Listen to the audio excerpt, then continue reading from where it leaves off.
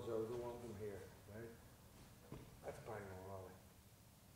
You, people say you transfer the weight front foot to back foot. You do that from a forty-five degree angle or just off a forty-five degree angle. It's not straight forward and straight back, it's just, do you understand? Mm.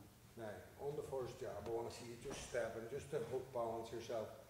If you can keep your, your chin behind your knee, see when I come over, see when I come over my knee, Mm. no, I'm vulnerable to uppercuts. You know Right. we're not, do you you can get hit with shots.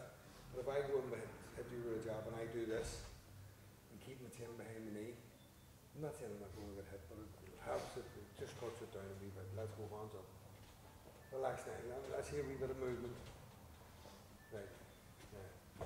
See when you're sticking out this jab, see this hand here? Mm.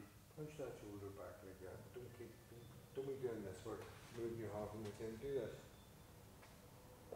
Right, straighten that arm. Let's go. Jab. I'm slipping out to the side. Yeah, let's go. Yeah.